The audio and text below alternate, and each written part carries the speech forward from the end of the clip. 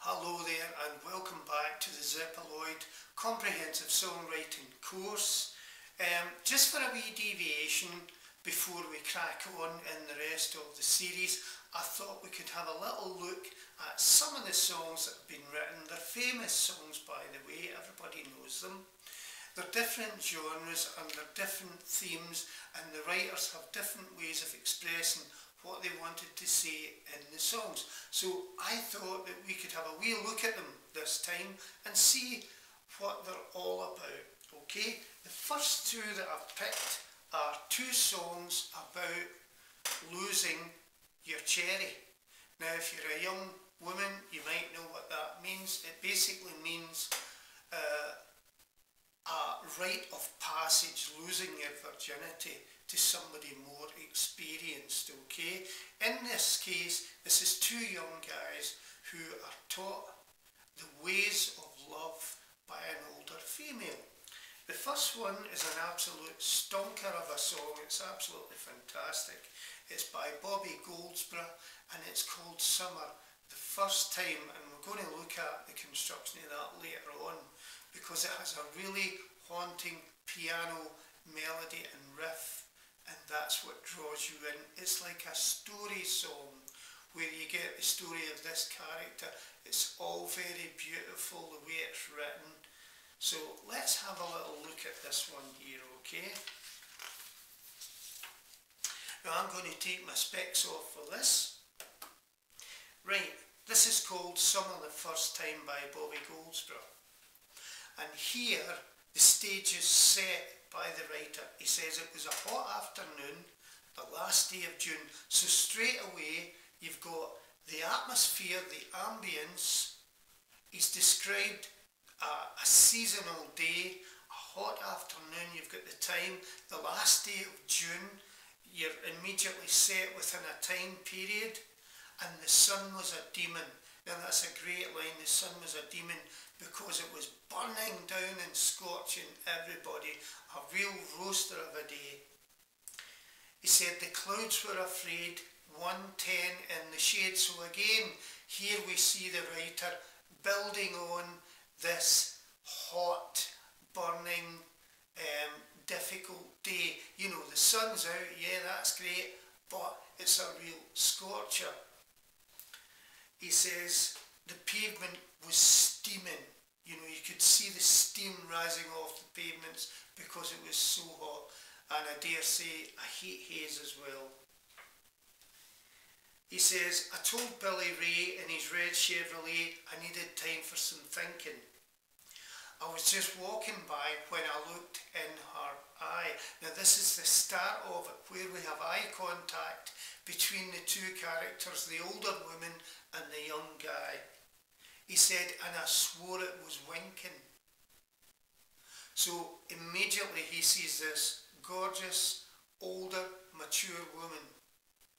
And to him, she's winking. She might very well have been. Let's carry on. She was 31 and I was 17. So there's a good age gap there. I knew nothing about love. She knew everything. This is just a young boy, a callow youth, as we say, uh, never had a woman before. All his adventures are probably up here under the bed sheets.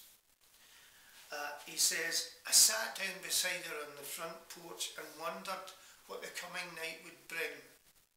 Now, this is rhyming and yet it's not particularly moon and June but it's unfolding a story, do you see? Then he changes, he said, the sun closed her eyes as it climbed in the skies and it started to swelter. So again, he's cranking up this notion of the extreme heat that's coming through the song. And there's also, it's the, the lyrics, believe it or not, are creating attention. and I don't mean attention, I mean a tension. Because you're feeling it as you're reading it. It's like reading a book here. You're feeling the heat because it's described so perfectly.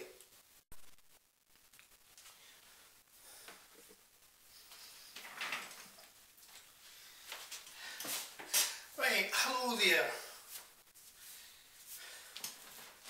I thought we'd do a wee bit of deconstructing the Bobby Goldsboro tune before we begin. Um, it's a very haunting piano motif that runs through the song. I'll show you what I mean.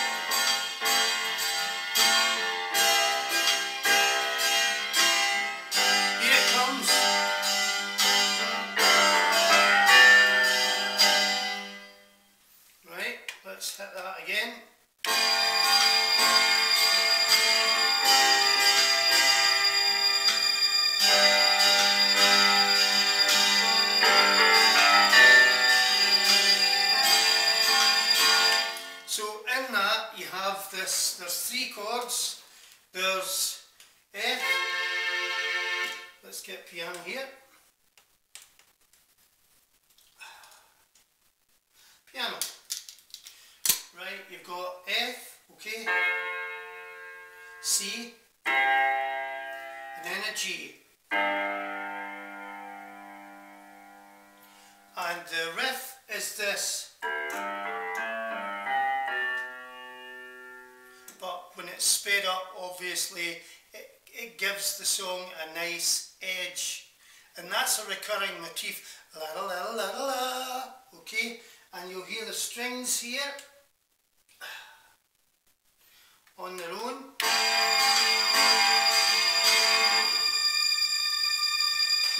strings create a tension in the song because they're always hanging there in the air okay and that's what creates this kind of almost haunting, surreal atmosphere. You don't know what's going to happen, what's going to happen to this young man, this young woman. So the strings create the tension there. Over the top of that we have uh, the percussion, just very simple. This is just an approximation.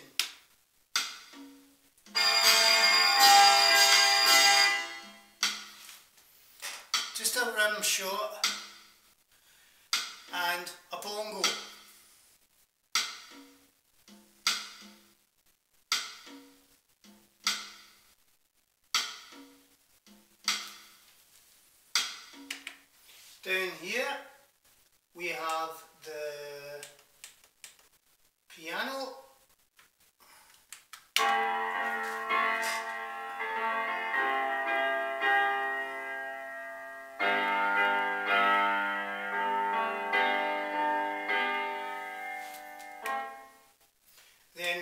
That comes in.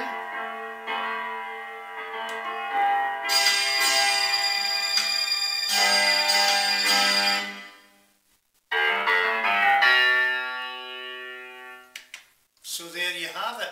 Okay, and lastly, you have an acoustic guitar, which I did just for quickness on the piano here.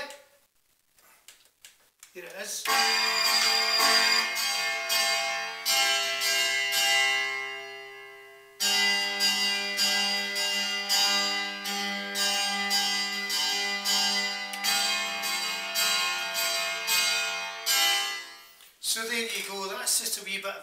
That lets you see how when you get your lyrics together, you can actually piece them together for the song.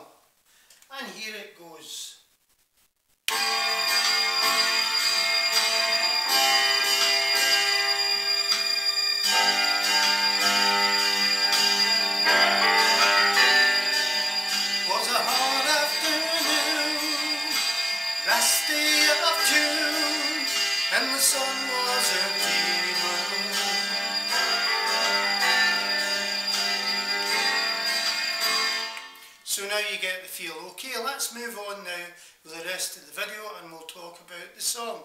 You enjoyed that little bit of deconstruction there and I'll do some more in further videos.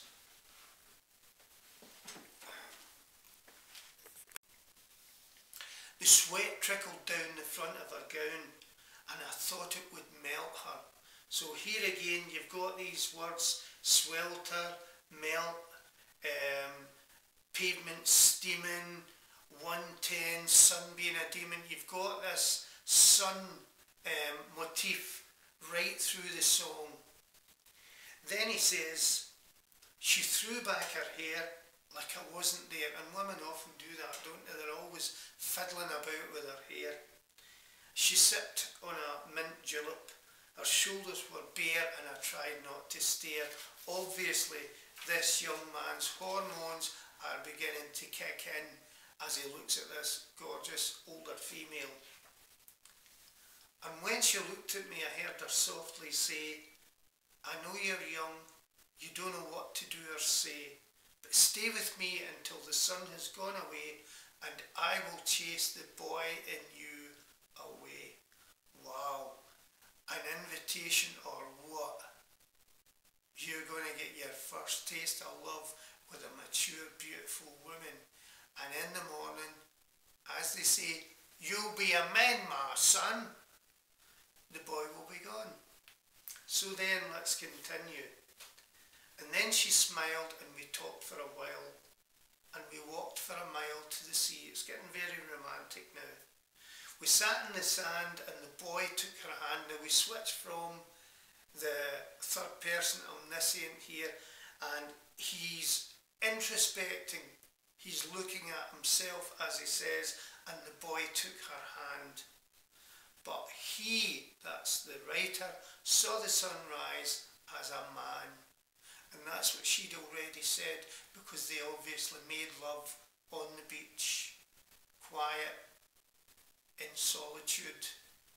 And you know, in films, when a couple are making love on a beach, you know, when the thing reaches its climax, you usually see the whoosh, the crashing of the waves coming in.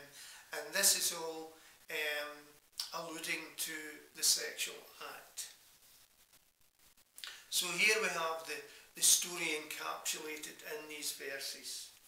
And finally, we come to the man looking back to that day. He says, Ten years have gone by since I looked in her eyes, but the memory lingers. I go back in my mind to the very first time, feel the touch of her fingers. So straight away, that memory is as strong with him then, ten years on, as it was the first time he met that woman. Now, that's a fantastic uh, version of songwriting. It's, it's a fantastic example, I should say, of great songwriting because it sets the scene. It's almost like a story put to words. Okay? Now, the next example I want to look at is by Rod Stewart and it's Maggie May. And this time, it's not quite as romantic as the way Bobby Goldsboro would write, but that's his bag. He writes these kind of slushy, sugary, sentimental songs. This is much more as a naughty schoolboy gets laid type of song, and it's Maggie May. And he says, wake up Maggie, I think I've got something to say to you. It's late September again, do you see that? We're setting the month in the song, and I really should be back at school. Now there's, there's no rhyme there because the last line was you and then the following line is school. So it doesn't always need to be moon and June, but it can be set in a story. He says, I know I keep you amused, but I feel I'm being used. Oh Maggie, I couldn't have tried any more. And this is a young lad saying, you know, I'm basically your toy boy, your wee sex toy, you know and he says, uh, you led me away from home, so he's blaming her for leading him astray, just to save you from being alone. You stole my heart and that's what really hurts. Now, this again, this is this attraction to this older woman. This young lad feels intrigued, obsessed by this older woman because there's something about her that he finds intriguing. And then he goes on to explain, he says, the morning sun when it's in your face really shows your age. But that don't worry me none. In my eyes you're everything. So for him, he's not being ageist. But again, that's just a sentiment of how he feels at the time. He maybe would, wouldn't he want to walk out where and folk would be saying, is that your auntie? You know. Um, but again, he says, I laughed at all of your jokes. My love, you didn't need to coax because he was willing, obviously, in this. Um, it's interesting, this song, because it was written in the 70s, obviously, and nowadays the newspapers are full of female teachers sleeping with their male, young male pupils, because these young lads are handsome, they're at their, you know, they're, they're fountain of youth kind of thing. Um, and this would might be considered kind of a bit off, kind of taboo, but for the purposes of looking at how to write a song, we're just looking at it. He goes on to say, all I needed was a friend to lend a guiding hand, turned into a lover and a mother. So you've got a mother figure here, you've also got the sexual aspect, the physical aspect, the erotic aspect of her being a lover. And then he says, what a lover, you wore me out. Now this is a young dude, this is not uh, somebody like me at 62 who's knackered, you know, and when the last, the three minutes that we talk about, this is a young dude who is a stallion. He could probably go on, but this woman wears him out. He says, um, all you did was wreck my bed and in the morning kick me in the head. That's a great line. Uh, because obviously she's thrashing about in her sleep. Um, and then finally he comes to this line, he says, I suppose I could go and collect my books, get on back to school, or steal my daddy's cue and make a living out of playing pool, or find myself in a rock and roll band that needs a helping hand. Maggie, I wished I'd never seen your face. So there's a tinge of regret here creeping in and he's basically saying, you know, I've, I've, I've got a misspent youth. What have I done with it? I've spent the blooming summer with this woman when I should have been doing something that would help me. Um, and he's not quite sure what he's going to do. Is he going to play in a rock and roll band? Maybe he's got aspirations to be a guitarist, a drummer, a singer, whatever. Uh, is he going to be the next um, pool champion if he steals his dad's cue and nips down the pool hole? Because uh, these are all signs, as they say, of a misspent youth. Okay? And finally, he says, You made a first class fool out of me, but I'm as blind as a fool can be. So here we have the fact that he's overlooking all this time wasting because the experience taught him a valuable lesson about love and women and how they think and how they feel. So that's just two examples. We're going to look at some more examples in the next video. I hope you enjoyed that.